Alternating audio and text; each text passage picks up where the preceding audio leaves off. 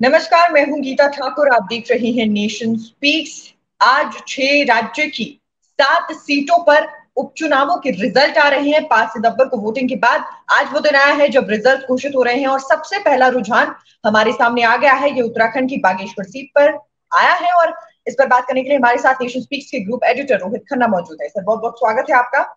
जी, धन्यवाद गीता, आपने सही कहा। सबसे पहला रुझान हमारे पास आ रहा है बागेश्वर, जो कि उत्तराखंड की सीट है। और मैं बड़ा हैरान हूँ यहाँ आंकड़े देखकर।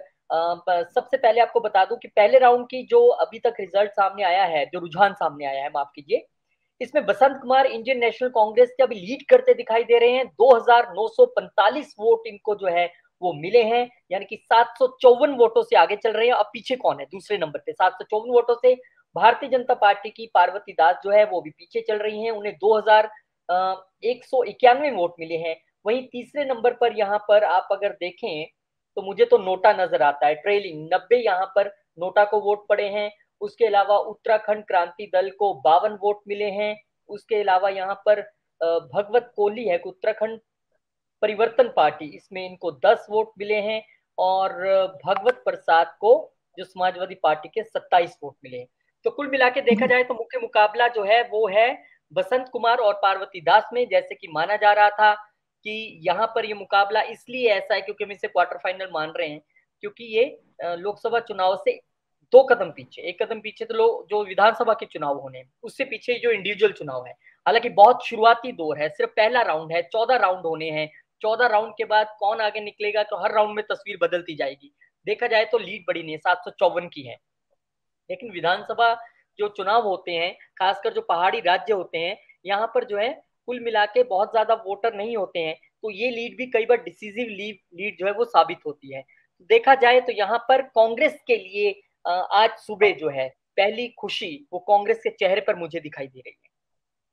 जी और काफ़ी ज़्यादा अंतर सर मैं कहूँगी कि नहीं करार दिया जा सकता लेकिन शुरुआत के लिए अंतर भी ज़्यादा है। हो सकता है इसी तरीके के रिज़ल्ट आगे बनते चले जाए लेकिन जैसा कि आपने कहा कि अभी चौदह राउंड होने हैं पहला राउंड है आ, कुछ कहा नहीं जा सकता, हो सकता है कुछ ऐसे क्षेत्र हो जहाँ से बिल्कुल समीकरण बदल जाए। भी बिल्कुल सही कहा आपने, क्योंकि आठ बजे जब गिनती शुरू होती है तो सबसे पहले जो है, वो पोस्टल बैलेट खुलते हैं। पोस्टल बैलेट मतलब जो दूर पार जो नौकरी करने गए हैं, जो सरकारी मुलाजिम है, वो कहीं भी हो सकते हैं, वो उनके जो बैलेट के ज़रिए अपना वोट डालते हैं, ये वो खुला है।